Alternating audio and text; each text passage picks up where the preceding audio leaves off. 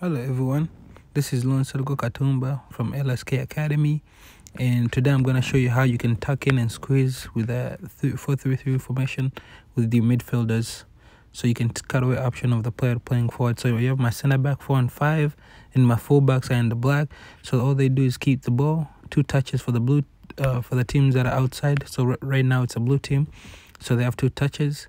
The black is neutral. They just keep the ball knock it knock it knock it and the red team just squeezes in to cover for you know for their team for their center backs. It's simple as that. They're just covering covering. Knock it once the red wins it like right here as you see right here they can make that pass to their team. And then the red the team the red on the other side keeps it. And the blacks which are neutral they squeeze they slide over and now they're you know they're playing for the red team. And they just still knock it so it's all about squeezing in for the defenders. This crew is working on on on the midfielders so that they can squeeze in and tuck in and take away options, take away space, so that it's hard for the other team to pass through them. So that it's hard for the other team to to make those diagonal pass and make those passes to the forward. So this is the idea: is you take away options.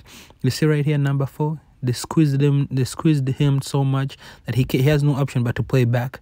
Same thing with the number five they take away his option so that the only pass he has is to play to a number four. And then right then you can you can win it.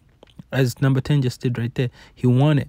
Because the only option the number five had is to play that ball to him.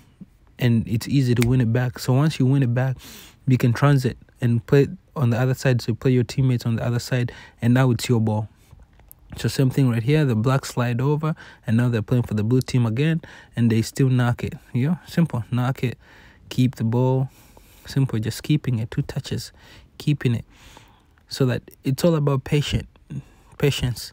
Just be patient be patient. The ball will come to you, you don't overwork don't overwork yourself. Let the ball do the work. Same thing right here